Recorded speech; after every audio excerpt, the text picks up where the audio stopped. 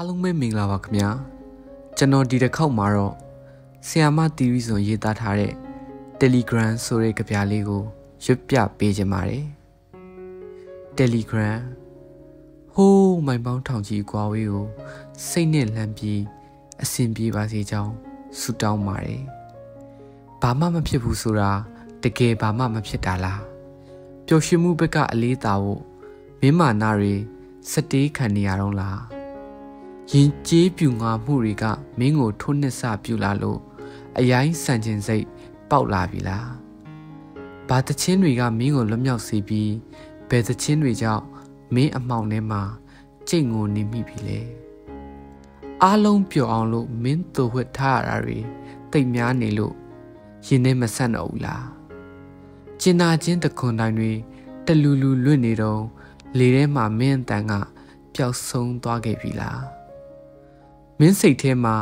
မင်းကိုမင်းချစ်ဖို့မေးရောစပြုနေပြီလားအလုံးကိုမင်းခံလေးထဲမှာ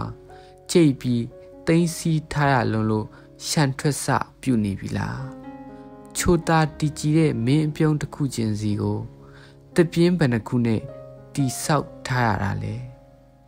အမိမတိလွမ်းဆွတ်ခြင်းတွေကခက်ဆိတ်ဆိတ်နဲ့နာကျင်စပြုနေပြီလားကောင်းကင်ကိုပြန်ဝဲသွားခြင်းစိတ်နဲ့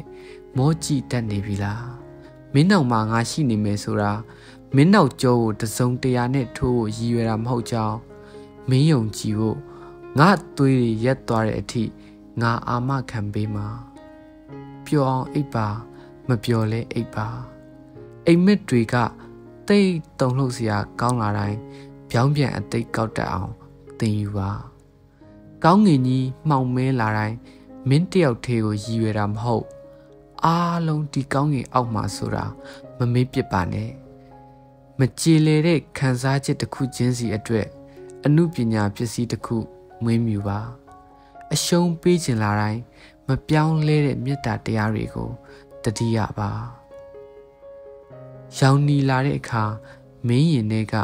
မင်းမွေးမြူထားတဲ့အလင်းဟာမနစ်ဖြန်ကိုလင်းမြင့်စွာထွေးပွေပေးမှာ